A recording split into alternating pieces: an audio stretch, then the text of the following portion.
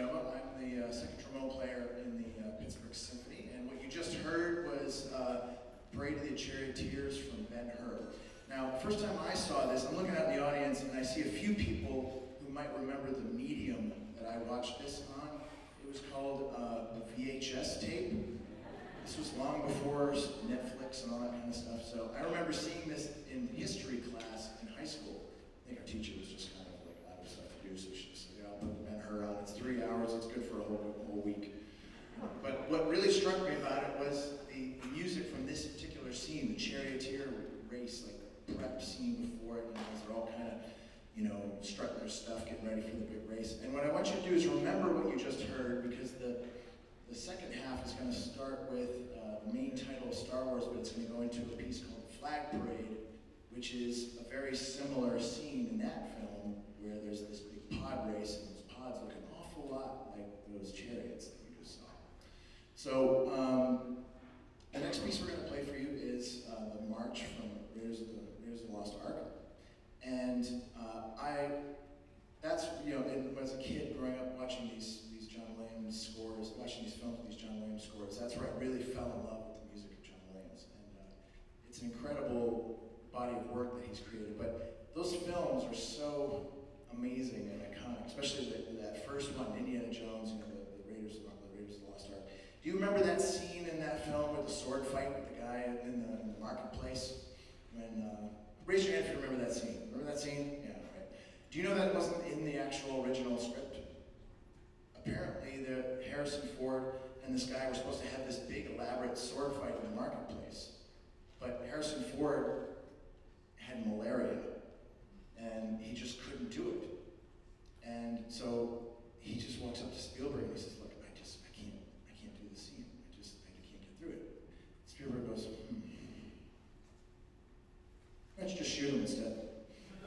and that's how that scene got into the film. And there's something about that you know, sort of bravura of that film that John Williams really captures with this music. So here's the Raiders March,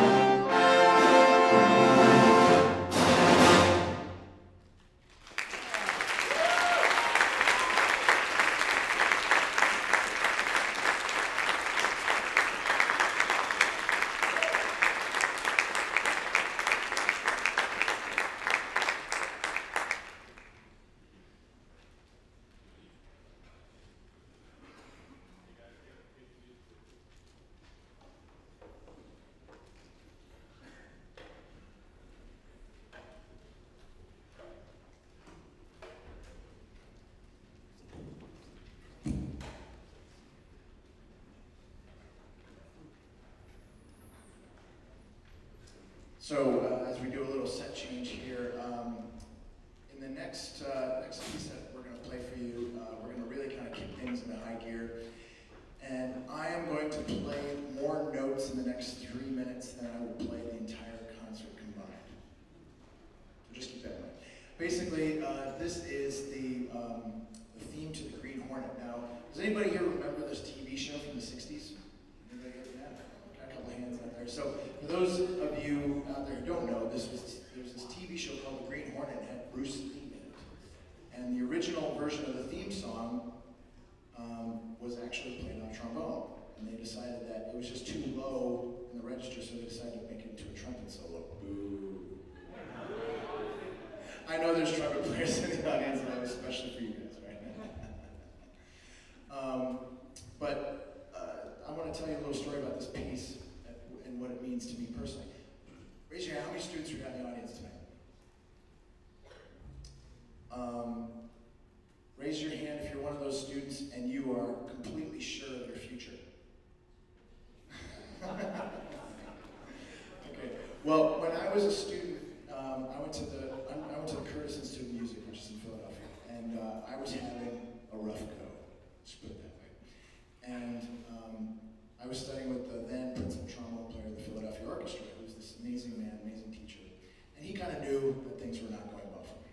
And so he had me, you know, like I had this freak thing happen to my instrument, and it got damaged, and I went over to his house, and he fixed it for me, and then, you know, he started, he said, you know, what's going on with you? And so we started playing some duets and going through some old recordings he had, and then at the end, you know, he kind of basically gave me a pep talk. He said, you know, just hang in there. It's tough now. This is a tough time for you. You know, a lot of a lot of changes are happening, and you don't know where you're going to be headed, but you're you're going to be just fine. You know, and he, I, I believe him.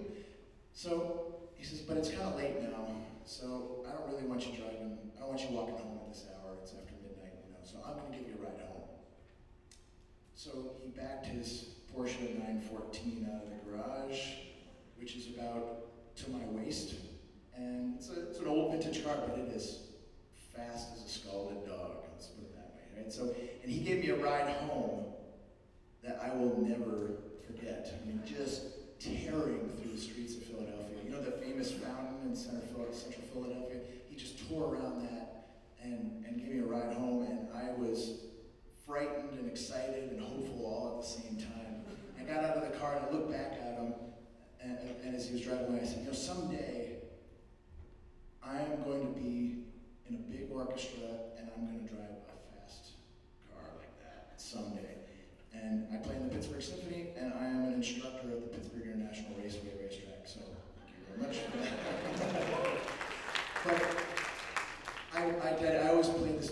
Whenever I play this piece, I always, I always think about him and what a great mentor he was. So here's the theme to the Green Hornet. And again, apologies for my voice. I've been fighting a cold for three weeks, and nothing was going to keep me from coming here. Not Hurricane Nate, not this cold, not Delta losing my